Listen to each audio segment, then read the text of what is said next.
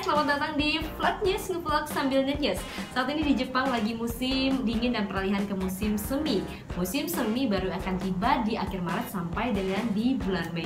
Biasanya sih kalau musim semi sudah pasti Sakura bermekaran. Tapi kita nggak bicara tentang Sakura dan musim semi yang belum datang. Kita bicara soal musim dingin di mana salju masih turun dengan suhu 2 derajat Celcius.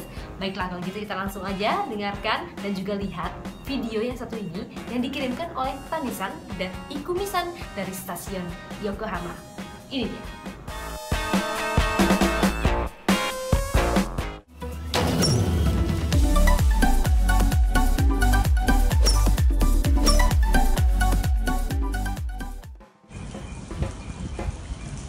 Inilah suasana musim dingin saat di Jepang. Ya, meskipun musim dingin akan berganti dengan musim semi di akhir bulan Maret ini, tapi salju masih saja turun. Tampaknya salju enggan untuk pergi. Video ini dikirim khusus oleh warga Jepang Akihiko Kashitani dan Ikumisan.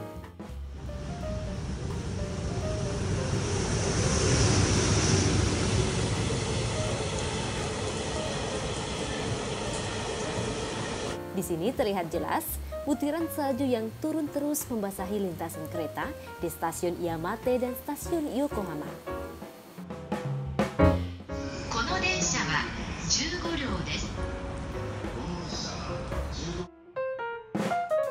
Jelang peralihan musim dingin ke musim semi, suhu di Jepang akan terasa lebih dingin berkisar 2 derajat Celcius.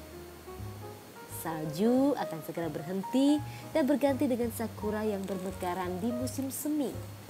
Jadi, kita tunggu saja video berikutnya. Arigato gozaimasu Tanisan dan Ikumisan atas kiriman video kerennya untuk vlog news ya.